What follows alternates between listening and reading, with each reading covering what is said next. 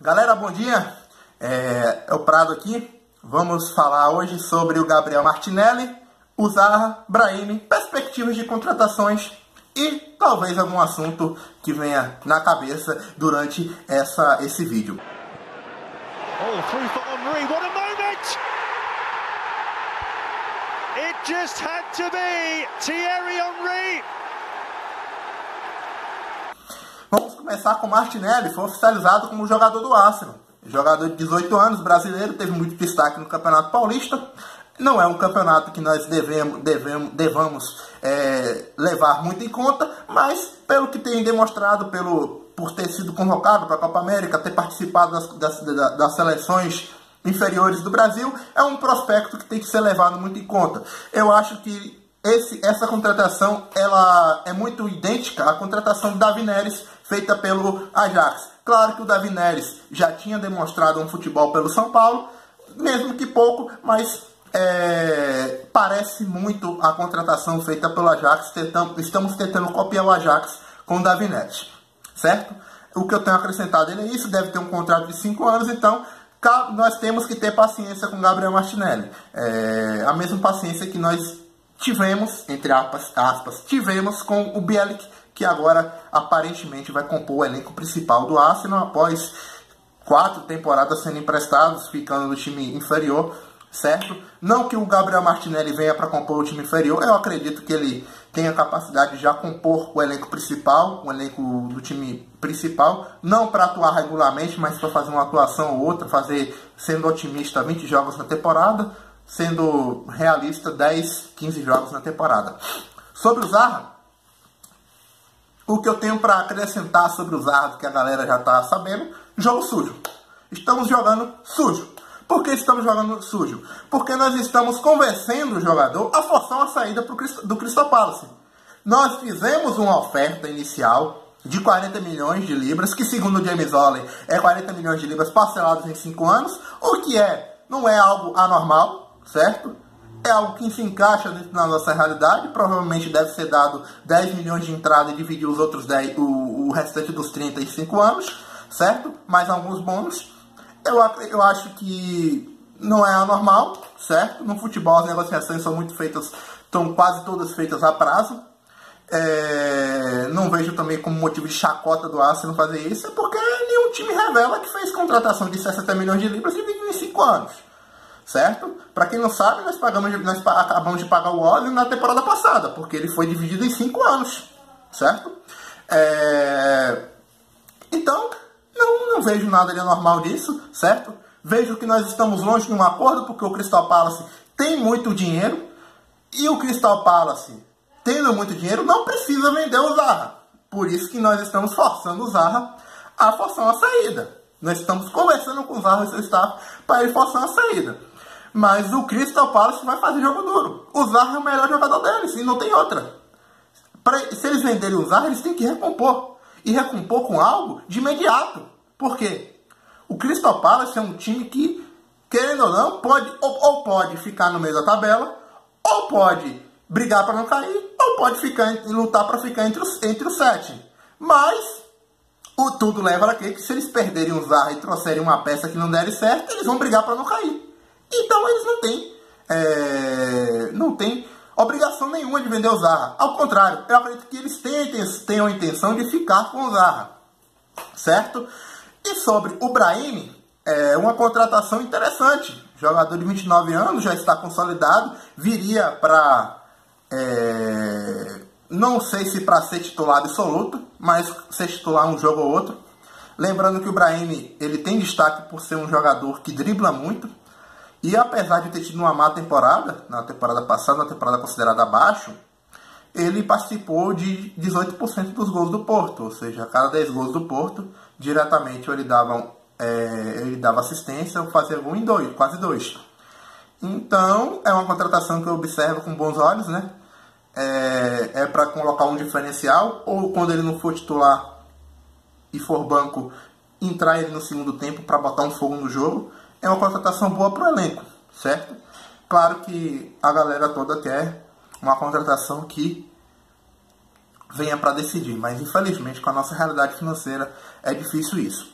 certo? Para finalizar, a nossa perspectiva de, de janela. Deu para observar que o Arsenal ele está interessado em aumentar o seu poderio ofensivo. E isso vai de encontro com o que disse o Naemery quando chegou. Entre abre aspas. Prefiro ganhar um jogo de 5 a 4 do que ganhar um jogo de 1 a 0. Fecha aspas. Então, até o Tierney, que é um jogador de defesa, ele vem para acrescentar ofensivamente. Por quê? O Kolasinac, no último terço do campo, é nulo. Ele tem muita força física, mas tem muita, mas tem muita pouca técnica, cara. Ele não cruza bem, ele não, ele não chuta bem. Então, ele é uma peça que não ajuda o ataque. E o Tierney, ele é mais completo, ele sabe cruzar bem, ele finaliza bem, ele tem, ele tem muita velocidade. Então ele vem para ajudar muito, para dar muito mais poderio ofensivo, certo? Então, tudo leva a crer que o Arsenal está interessado inicialmente de vamos aumentar o nosso poderio ofensivo e com vendas é, com algumas vendas, com algumas receitas extras, nós contratamos algum nome na defesa, usando a seguinte teoria: a teoria de Wenger, oportunidade de negócio.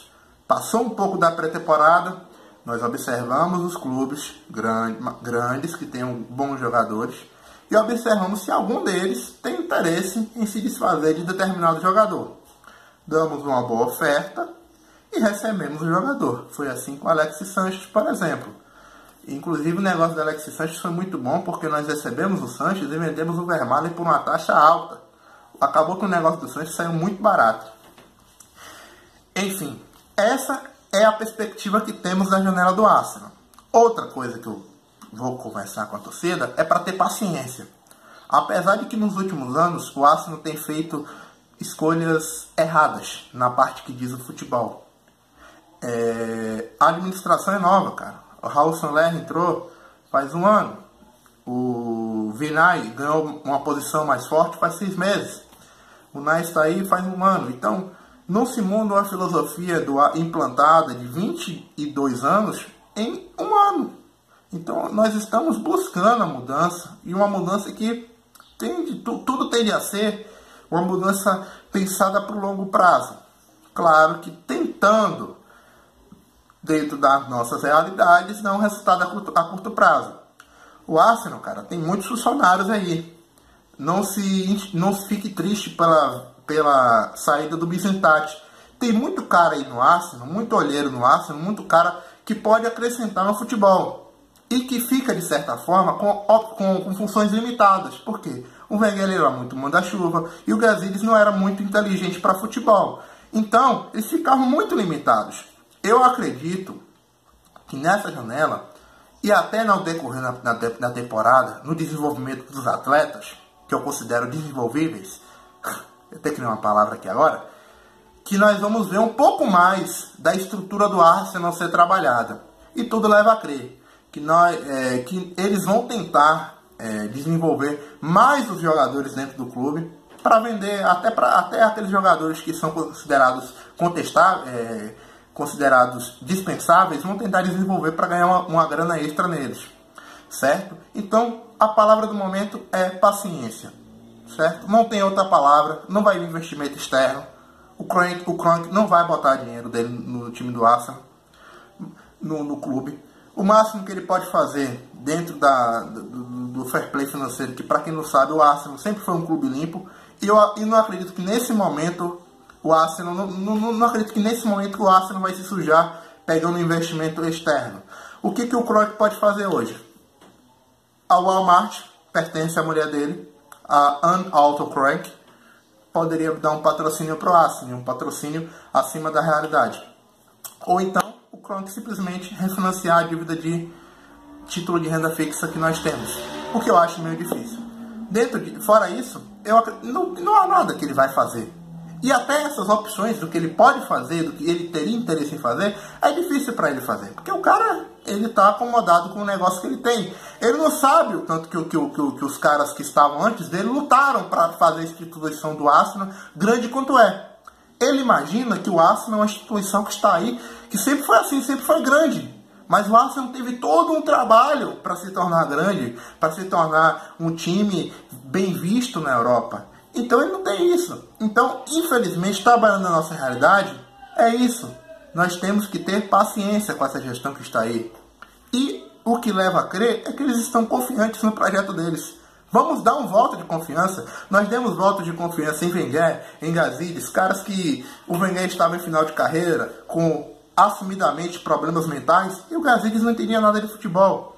Então, vamos dar um voto de confiança na, na atual diretoria e verificar né, se daqui dois anos né, estávamos certos ou errados. A palavra da vez é confiança e não tem paciência, na verdade, desculpa.